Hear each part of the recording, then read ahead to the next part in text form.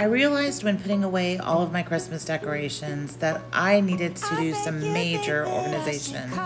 So I started with my pantry. I can't wait to show you how it turns out. So follow along.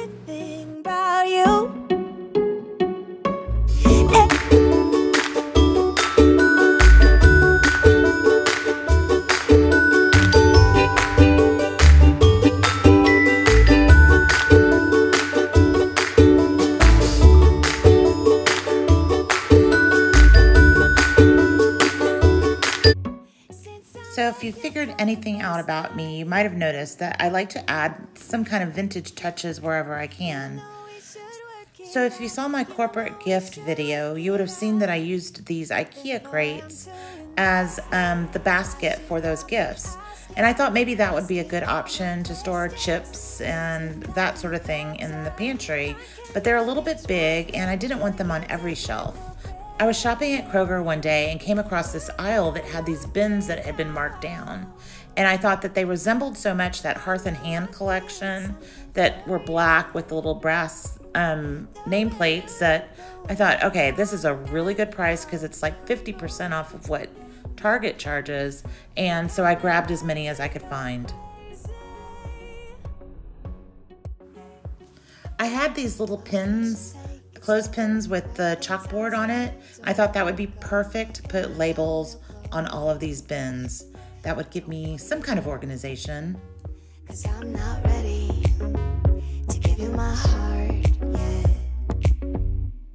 Before I'm too invested, I should probably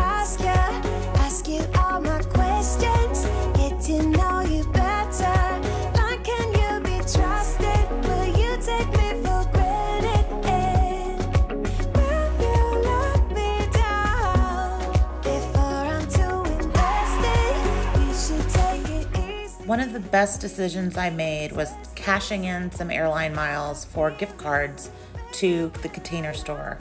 I found this Elfa over the door storage organizer and I was able to eliminate all of the spices off of my shelves and a few jars too. And I love it.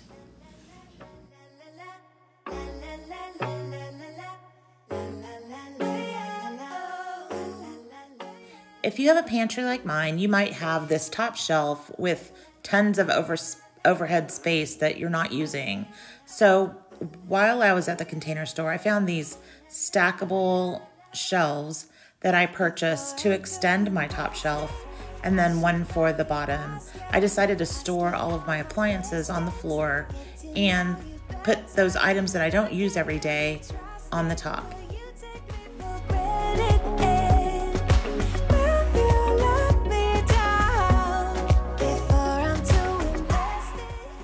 I think I may get two more stackable shelves just to get rid of those plastic bins, but I ran out of room on my gift card, so that'll be a later project. Now to the floor. Now that I've got these appliances on the floor, I don't really want to see them all the time, so I thought it might be nice to add a little curtain. Mm. I was looking for different fabric options and I knew I had this one, but it was a little pricey. It was more around, I think it was like $12.99 a yard. And I didn't want to spend that much. And so I started looking at French ticking stripe, but that was even more expensive.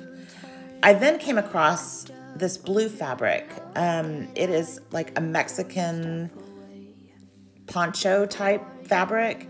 I found it on Etsy for $4.99 a yard and loved the color and thought it would be perfect. So as you can see, this comes, um, I didn't even measure it, but it, that's as wide as it gets. I mean, there, it's not, um, this is not folded. This is just how it's, it is. But that's okay. I mean, I could, if I wanted to, I guess I could hang it that way, but I don't think I'm going to do that. I'm going to hang it with the stripes down. That way, when, when I put it in there, I will have little openings to um, reach those items and not have to, you know, pull everything up. I can just kind of move it over. My plan to hang it in here, so my plan to hang it in here is to put Velcro and staple it here and then put Velcro on there and use those to create little ruffles and it will cover all, all around. So I'm going to um, sew hems. I'm going to cut them and then sew hems on the bottom and the top and then um, sew on the Velcro and attach it and I'll let you see. So my fabric is 22 inches across um, and I cut it so that it, okay, first of all, what I did was I folded it over at the top and just to create a sewing line, I think it's probably half an inch that I folded it under. And I'm gonna sew along here just to close off that seam. I could double fold it, but it's too thick and I'm afraid that my, um, when I sew the Velcro on, it's just gonna be too much. I don't need to sew the ends. They're all um, finished edges, so that's good. But I cut it from the folded end to the end of the fabric at 25 inches. So my plan, since I measured the where the shelf starts, is 24 inches. I'm going to fold it under for my seam here. About an inch. I'm going to iron it down. I probably could just do it once and I'll end up putting something to keep this from fraying and it should be fine. But I don't have anything to keep it from fraying yet. I'll have to get that later. So I'm gonna iron it down so that my, it's exactly one inch up and then I will sew my seams.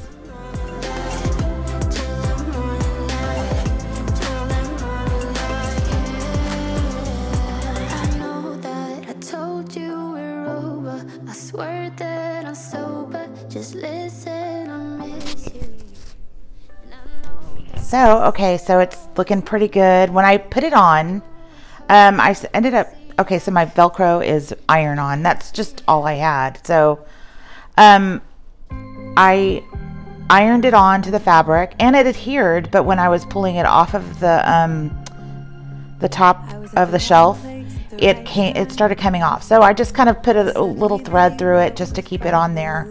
And I'm not sure if you can see it. I'm going to try and um, zoom in on the fabric itself, let's see here. I put little pleats. So I wanted some kind of little ruffle. I didn't want to just have it straight down. Um, let me see if I can get in there and show you.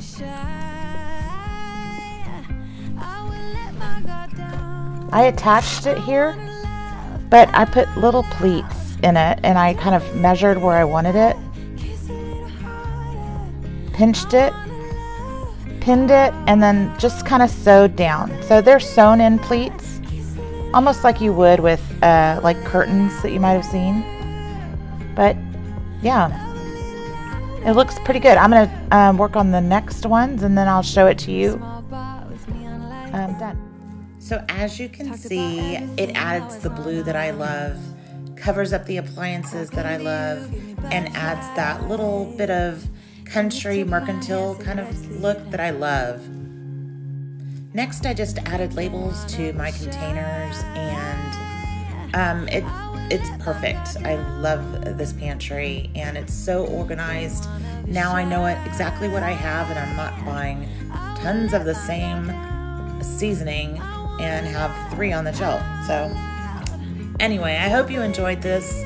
I had so much fun organizing, and I just think it looks great. If you enjoyed this episode, please give me a thumbs up and hit that subscribe button and the notification bell so you can get notified the next time I have a video. Thanks so much for watching. Bye bye.